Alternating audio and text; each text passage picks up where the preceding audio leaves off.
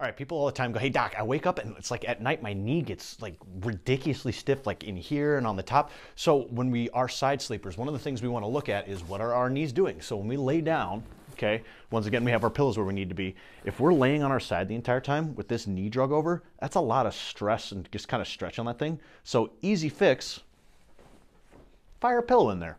Now we're in a much more neutral position. If you're staying here, this is like essentially sleeping like this versus having this weight drunk over. So throwing that pillow in there is going to help you a ton with just kind of like this weird achy pain. There's nothing wrong with you. If you can just adapt the way you sleep, heck, it might solve the problem.